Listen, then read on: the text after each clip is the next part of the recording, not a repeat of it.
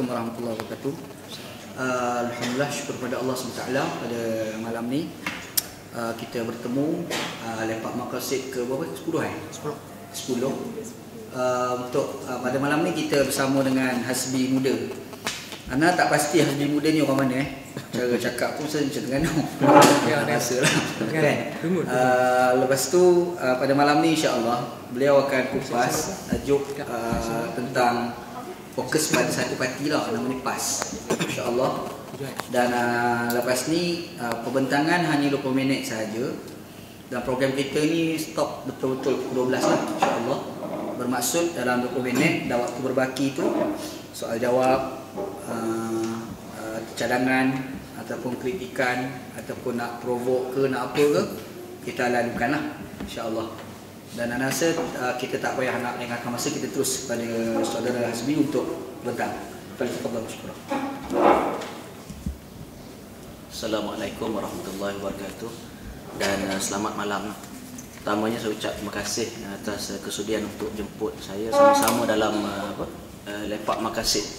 Nama itu uh, seronok kita dengar, makasid. Sebab uh, kalau kita nak menang, kita mesti fokus kepada makasid, pada matlamat kita. Kalau kita fokus kepada pendekatan, dia akan celaru lah. Sekarang ni kita berbalah banyak sebab berbeza pendekatan. Sedangkan matlamat itu sama. So, ana ucap terima kasih lah pada Ustaz Wanji selaku pengarah ke apa sekolah Syatibi ini. Uh, rakan-rakan uh, penganjur seterusnya yang hadir pada malam ini. Uh, bila kita bincang soal survival lepas dalam apa nama ni arus kebangkitan rakyat, yang pertamanya kita kena sedar dan akui bahawa sekarang ini memang arus kebangkitan rakyat itu sedang berlaku. Sebab kejahatan uh, parti pemerintah itu jelas sangat. Boleh curi apa boleh eh, apa nama rompak dalam bentuk bela lembunya boleh uh, isu PKFZ dan macam-macam. Daripada dulu sampai sekarang dia ni dah kira dah penuh dah. Kebobrokan dan keburukan yang dilaksanakan oleh parti pemerintah itu dah banyak sangat. Dan kebangkitan rakyat bukan ini kali pertama inilah kali yang ketiga. Kalau kita ikut yang besar lah yang pertamanya tahun 69 ha? orang apa nama ni khususnya yang di, di digerakkan oleh Front Sosialis juga DAP Gerakan Rakyat Malaysia dan juga Parti Kemajuan Rakyat pada waktu itu. PAS juga menumpang lah PAS juga mendapat kerusi yang agak banyak pada waktu itu.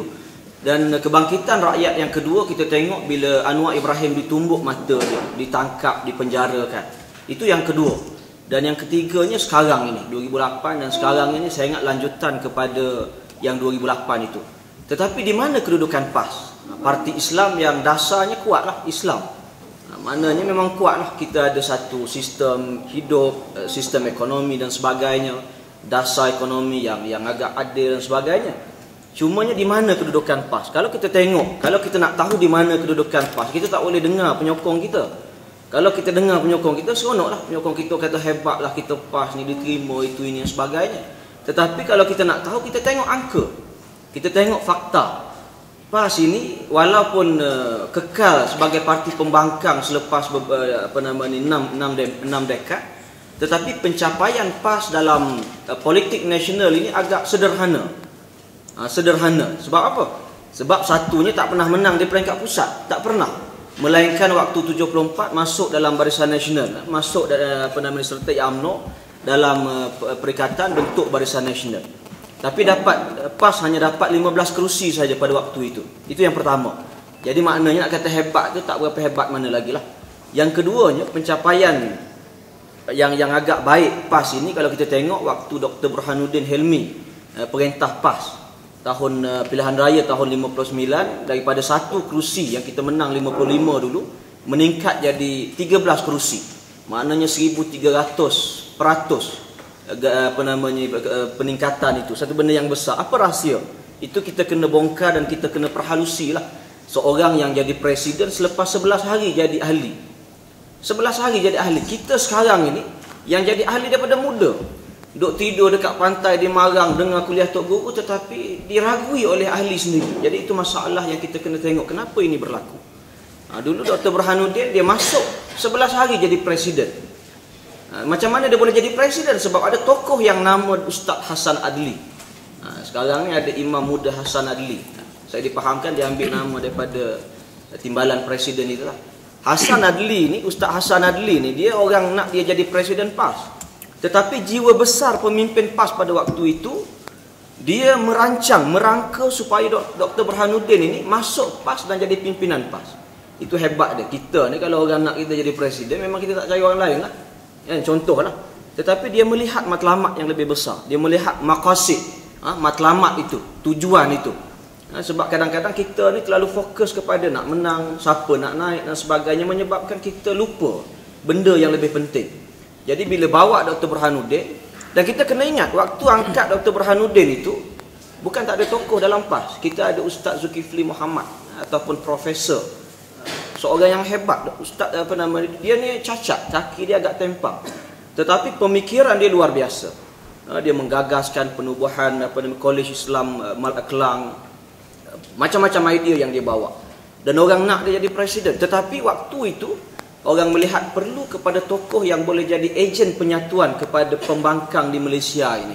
Yang boleh masuk dengan orang kata geng sosialis geng geng nasionalis dan sebagainya. Boleh masuk dengan semua. Jadi orang itu adalah Dr. Burhanuddin Ha, jadi itu hebatnya pengurusan perbezaan pada waktu itu. Kita mengenepikan sentimen. Ada PAS yang tak setuju waktu itu. Tetapi sebab Dr. Burhanuddin ini tokoh yang dominan dan ada tokoh yang macam saya sebut tadi Ustaz Hassan Adli menyebabkan keputusan itu dibuat, diambil dan kita menang banyak. Itu yang pertama. Yang keduanya uh, tahun uh, apa nama ni 99 uh, bila ini satu benda yang besar mengubah landscape politik kita. Sebab uh, tahun uh, 90 90 kita berpakat, PAS berpakat dengan semangat 46. PAS bertanding 30 kerusi menang 7 sikit eh, tujuh ni sikit lah dan boleh menang balik di Kelantan menang agak besar di Kelantan tetapi itu tak tak pelik sebab Kelantan dengan Terengganu ni memang negeri yang memang kuat PAS ha, tahun 59 bertanding dua negeri menang PAS dengan Terengganu lah. jadi pengaruh ulama tok guru pondok dan sebagainya memang signifikan dalam membentuk uh, kekuatan PAS di tempat itu jadi uh, 90 kita tak ada kebangkitan yang besar Tengku Razali biasa saja 95 pun sama juga kita ada tujuh kerusi. Tetapi bila Anwar dipecat, mata lebam berlaku, pemimpin PAS ambil keputusan yang kontroversi. Bertemu dengan Anwar, semua orang marah, ramai yang marah. Pimpinan dan saya dipahamkan pimpinan utama pun marah Ustaz Fadil. Tetapi keputusan itu diambil dan waktu itu ha, selepas lanjutan kepada perkara itu Ustaz Fadil ini dilihat sebagai pimpinan kepada pakatan ataupun barisan alternatif. Pakatan pembangkang pada waktu itu. Akhirnya bila kita bertanding, PAS bertanding dalam pilihan raya, menang 27. Paling banyak dalam sejarah PAS. Sekarang ini pun kita tak boleh boleh challenge lah eh, angka itu. Itu yang kedua. Dan sekarang ini eh, tahaluf siasi dengan DAP dan Pakatan Rakyat dengan PKR, eh, kerusi yang dapat itu pun agak banyak, agak lumayan. 23 dan 21 tak silap kan. Tapi walaupun banyak kita yang paling rendah PAS paling rendah di kalangan parti-parti Pakatan Rakyat maknanya walaupun kita ni nampak hebat tapi dari sudut angka dan pencapaian kita ini masih yang ketiga yang yang paling rendah itu yang pertama yang keduanya juga kalau kita tengok dari sudut negeri di Selangor umpamanya tempat kita sekarang ini di Selangor ini PAS tidak pernah menang satu pun kerusi dalam DUN maupun parlimen yang pertama kali menang ialah tahun 99. Empat dun dimenangi oleh PAS. Ha? Eh, hikmah daripada pemecatan Anwar. Kita bayangkan kalau Anwar masih dalam UMNO sekarang. Saya percaya yang PAS mungkin kalau ada kerusi dalam dalam dun Selangor pun ada satu dua saja. Mungkin dibangi sebab itu tempat yang budaya ilmu agak agak subur ataupun di Gombak Setia dekat dengan UIA. Itu saja. Sebab uh, kita kena tengok bila bila dipecat seorang pemimpin UMNO dia bukan uh, maknanya mati terus. Bila dipecat dia membawa segala rahsia yang dia pegang sewaktu duduk dalam UMNO. Jadi kita tahu kekuatan UMNO. Nak jatuhkan UMNO ini bukan mudah. Bukan mudah. UMNO pegang semua. UMNO ada think tank yang luar biasa. Dia boleh pegang semua. Data-data kerajaan ini semua dia pegang. Kita nak akses pun susah. jadi analisis dia itu memang tepat. Kalau dia kata menang kat Kelantan, menanglah Kelantan. Kalau dikata kalah, kalah lah. Memang tepat. Jadi nak jatuhkan um, UMNO ni bukan mudah lah. So bila jatuh pemimpin dia, tumbang ataupun dipecat Anwar, itu hikmah yang besar kepada PAS.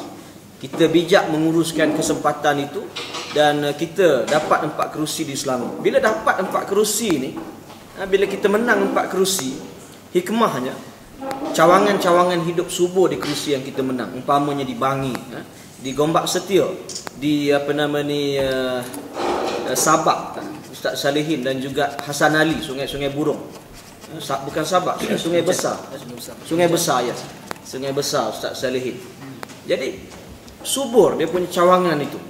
Dan sekarang ini PAS dapat kerusi yang paling banyak, 15. 15 kerusi sama dengan DAP 15. Cuma bezanya peruntukan yang kita bertanding 23. DAP hanya perlu bertanding 15 dan dia menang semua. Ha, hebat DAP. Kita bertanding 23 menang 15. Ha, tapi nak kata berinya bila timbul isu oh PAS terpinggir dan sebagainya tak betul PAS terpinggir. Dalam Pakatan Rakyat kita sebenarnya walaupun kerusi PAS ini hanya 71 kita bertanding tetapi kerusi yang kita bertanding ialah kerusi-kerusi yang kita boleh menang sebenarnya. PKR nampak banyak sebab dia ambil kerusi di Sabah Sarawak. Nak menang itu agak sukar. Ha, jadi nak bergaduh apa? Kita kena tumpu kepada kemenangan kerusi yang kita diperuntukkan. Ha, itu yang yang kita kena tengok lah. Dan uh, begitu juga di beberapa tempat macam di Melaka, di Negeri Sembilan, uh, Johor itu ada perubahan lah. Ha, dulu uh, kalau kita tengok angka uh, undi yang calon PAS dapat di Selangor ini, sama macam undi, peratus undi yang calon PAS dapat di Pengerang. Tempat Azalina. Tempat Azalina ni 10 kali pilihan raya pun belum tentu kita boleh menang. Sebab undi yang dia dapat hampir 80%. Kalau ada ada 50 ribu tu, 45 ribu tu undi dia dah. 5 ribu kita. Ha, dulu Selangor macam itulah. Tak kira di mana, di Gombak ke, di mana semua macam itu. Tetapi di, di, eh, kebangkitan rakyat telah mengubah segala-galanya. PAS mengambil kesan DAP dan PKR dan kita dapat kerusi yang baik. Cuma tinggal lagi prestasi kita lah. Ha, tinggal lagi macam mana PAS nak menguruskan uh, apa nama ni perbezaan, menguruskan apa yang berlaku sekarang ini supaya kerusi yang kita bertanding itu boleh menang banyak. Saya dalam KYT ini ada dua yang saya boleh rumuskan. Uh, PAS boleh menang banyak dalam PRU yang akan datang. Ada dua benda yang dia kena buat yang menjadi cabaran kepada PAS. Yang pertamanya ialah PAS mesti uh, menguruskan uh, perbezaan. Itu yang paling penting. Sebab kita kena ingat pemimpin yang hebat ini ialah pemimpin yang cekap dalam menguruskan perbezaan. Kalau kita tengok Mahathir macam mana? Mahathir ni best politician lah kat Malaysia. Siapa yang boleh jadi Perdana Menteri 22 tahun? Dia aja. Ha, dia ni memang hebat. Kita tak boleh tak boleh nafikan benda itu. Dan antara kalau kita tengok Mahathir ni dia baca semua buku yang ada. Kalau tengok, uh, kau pergilah rumah dia ataupun boleh tengok website Yayasan Kepimpinan Perdana, buku yang dia upload dalam laman web dia, separuh ialah buku yang mengkritik dia. Yang mengkritik dia, bukan yang puji dia. Yang puji saya ingat dalam satu per 4 ataupun satu per 5. Separuh ialah yang mengkritik dia. Tak kira lah Lutfi Ottoman ke, Syed apa nama ni Hussein Alatas ke, Yahya Ismail ke, ramai yang Lee Bancen, macam-macam. Ha, Mahathir itu ni macam-macam. Tapi Mahathir dia baca buku itu dan sekarang ini dia upload dalam website Yayasan Kepimpinan Perdana supaya orang baca dan melihat pandangan itu sebagai satu pandangan yang berbeza. Ha, masalah kita sekarang yang saya tengok dalam parti Islam ini, minta maaf cakap lah, ini parti, ialah parti saya lah. Saya tak tahulah keahlian itu lulus ataupun tidak. ada enggak PKR ada Ada nombor ahli kan? InsyaAllah ada ke? Cuma masalah kita ialah kita bermusuh dengan pandangan yang berbeza. Bila ada pandangan kita ada pandangan A, kawan kita kata B, orang belakang sana kata C, waktu kata D. Jadi kita bermusuh dengan pandangan B, C, D itu seolah-olah B, C, D itu akan menjahanamkan pandangan kita. Padahal pemimpin ini dia kena dengar semua. Dia kena kena dengar semua pandangan. Ada yang keras sikit. Ada yang mungkin uh, sinis. Ada pandangan yang nampak kebudak-budakan tetapi ada isi. Ada pandangan yang terlalu ekstrim, terlalu futuristik. Ha, mungkin tak sesuai pada masa ini. Jadi pimpinan ini dia kena dengar semua. Dengar semua dan memilih yang terbaik. Ha, itu pemimpin yang yang saya ingat kita agak agak bermasalah lah. Ha, bila muncul kritikan ataupun benda-benda yang berbeza ini. Jadi kadang-kadang jadi tak senang duduk. Sebenarnya orang kritik kita tu tak akan menjejaskan kita. Kalau orang kata oh kita ni begitu begini, kata kalau kita tak sebagaimana yang dia sebut, kita tak terjejas. Jadi mengapa perlu kita terus berpencap, bertindak balas dan sebagainya? Saya ingat ialah macam bila kritikan Dr. Agus uh, kepada uh, kerajaan negeri. Saya tak nampak kritikan itu boleh menjatuhkan martabat pimpinan. Sebab orang tahu yang sebenar. Cuma pandangan itu boleh diambil sebagai panduan. Eh, macam Ustaz Fadli jawab itu baik. Dia, dia, dia menjelaskan apa yang tak betul dan dia minta supaya pimpinan dengar kritikan ini. Itu cantik. Cuma saya minta maaf lah bila apa nama timbalan menteri besar sebut jawab itu agak agak longgar, agak agak nampak uh, panik. Kenapa perlu panik? Kita tak perlu panik dengan kritikan. Kalau kita tak nak layan tak payah dengar. Tak payah baca. Saya senang saja ada satu ada apa nama ni uh, apa nama ni ada alatas ni. tak ada. Ada, ada ada yang anak murid seorang dua lah. Dia dia bagi pandangan yang kadang-kala kadang-kala bunyinya arrogant. Kita tak nak dengar. Kita blok lah. Senang saja. Jadi kita uruskan. Kita rasa nak dengar, kita baca. Rasa boleh jawab sikit, jawablah. Kalau rasa tak nak jawab, biarlah. Nak takut apa? Benda itu tidak akan uh, maknanya memusnahkan kita lah kritikan ini. Jadi itu yang pertama, PAS mesti cekap dalam menguruskan perbezaan. Ha, sebab uh, kita mesti hidup dalam kita memang hidup dalam kepelbagaian. Sekarang ini ada macam-macam bangsa dalam negara kita. Kita nak perintah bangsa yang banyak. Ini bukan bukan satu bangsa saja, bukan satu agama. Dan nak perintah bila selesai di Semenanjung, kita nak perintah pula Borneo. Orang Kadazan Dusun, orang Iban dan sebagainya. Kalau perbezaan dalam parti, kalau perbezaan pendapat dengan pemimpin yang di yang menjalani tarbiyah yang sama dengan kita pun kita tak boleh uruskan, macam mana kita nak uruskan perbezaan dengan orang Kadazan yang mungkin pakai cawat? Umpamanya lah, saya tak tahu. Ha, mungkin orang-orang murut, orang-orang Iban dan sebagainya. Jadi, kepakaran yang mesti ada kepada pimpinan PAS ialah mesti cekap dalam menguruskan perbezaan. Itu yang pertama. Yang keduanya, PAS juga mesti dilihat dominan dalam Pakatan Rakyat. Benda ini saya bentang di Melaka dan Khalid Samad dia tak setujulah. YB Khalid, ahli Parlimen Shah Alam ini dia kata kita tak perlu dominan. Tak ada parti dalam Pakatan Rakyat yang perlu dominan dalam dalam dalam pakatan dalam pakatan. Tak ada, tak perlu. Tetapi logiknya kita tengok orang Cina sokong DAP ni sebab dia lihat DAP ini dominan dalam pakatan tidak sebagaimana MCA, Gerakan, SUPP dan LDP dalam Barisan Nasional. Ha, itu beza dia. Betul lah kita kata kita nak politik rentas kaum dan sebagainya, betul. Tetapi sentimen perkauman itu masih ada. Di Malaysia ini komposisi penduduk 50 eh, orang Melayu, 25 orang Cina, 10 eh, apa namanya India dan sebagainya menyebabkan isu perkauman itu masih subuh. Sebab itu kita tengok Lim Kip Siang, eh, apa Lim Kip Siang dalam sejarah, dia tak pernah tak pernah kalah dalam pilihan raya. Dia bertanding start tahun 69, dia tak pernah kalah, melainkan sekali tahun 99 di Bukit Bendera. Punca kekalahan sebab AMNO propaganda media saraf dia hasut orang Cina supaya tolak pakatan uh, barisan alternatif sebab dijangka PAS akan perintah. Kalau PAS perintah habis semua kena sunat, habis semua kena potong tangan sebagainya. Itu yang berlaku. Jadi orang Cina takut. Waktu itulah ha, media baru pun tak banyak untuk menjelaskan. Itu yang pertama. Yang keduanya, Dr. Mahathir juga dia tak pernah kalah dalam pilihan raya. Dia start bertanding 64 di Kota Star Selatan, dia tak pernah kalah. Sekali saja dia kalah iaitu di eh, tahun 7 eh, tahun 69. Punca kekalahan dia ialah sebab uh, dia sebut dalam ucapan kempen dia dia kata saya tak perlukan undi orang Cina. Di Kota Star Selatan ini saya boleh menang dengan undi orang Melayu. Ada sebut begitu. Jadi orang Cina pun protes lah. Kalah dia, kalah apa namanya Tan Sri Senu dan Tan Sri Zahir di Kedah. Ha, itu punca maknanya kalau kita bakar semangat perkauman memang akan bagi kesan kepada politik. Di tempat-tempat yang ada orang uh, Cina khususnya di, di Melaka, Johor dan Negeri Sembilan. Sekarang ini tiga negeri itu punca utama penolakan kepada pakatan ialah isu perkauman. Di negeri lain di kawasan pinggir bandar isu BRIM. Ha, jadi maknanya berbalik kepada tadi, PAS mesti dominan dalam pakatan mesti dilihat dominan. Ha, sekarang ini nak tunjuk dominan, kita tak perlu pun nak tuntut kerusi sampai 100, tak perlu. Tak perlu. Ha, zaman Ustaz Fadil dulu hanya bertanding 60 saja. Daripada banyak-banyak kursi parlimen dia minta 60 saja. Lebihnya ambillah DAP nak berapa, PKR nak berapa, apa nama ni semangat 46 nak berapa itu terpulang. Ustaz Fadil hanya nak 60 dan dia menang 27. Itu yang berlaku dululah. Jadi sekarang ini kita dapat 71 kerusi parlimen, cukuplah.